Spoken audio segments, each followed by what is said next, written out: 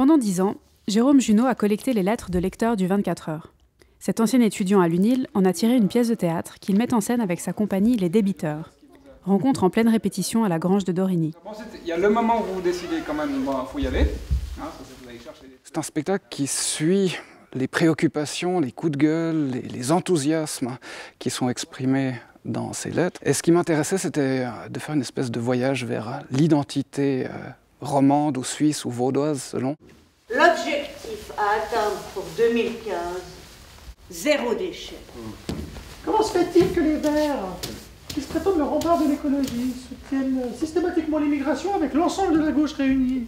Hmm Tous les textes qu'on entend, à part des petites interjections, sont absolument littéralement des citations de lettres de lecteurs. L'exercice, au fond, littéraire, c'était vraiment de, travailler au, au ciseau et à la colle et, pas de réécrire les lettres dans l'esprit. Mais les, phrases les plus étranges qu'on entend dans le spectacle sont vraiment toutes des citations authentiques.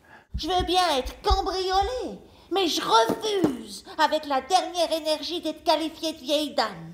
Pour préparer sa pièce, Jérôme Junot a parcouru plus de 1500 lettres de lecteurs.